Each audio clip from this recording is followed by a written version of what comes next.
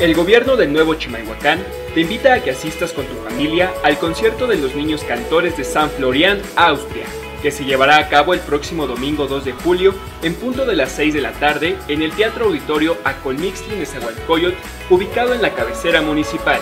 Disfruta de uno de los coros más importantes del mundo que interpreta temas de grandes autores como Strauss, Mozart y Bizet, entre otros. No lo olvides, el coro de los niños cantores de Austria en Chimalhuacán el próximo domingo 2 de julio a las 6 de la tarde en el Teatro Auditorio Acolmixtli Nezahualcóyotl. La entrada es libre, no te lo puedes perder.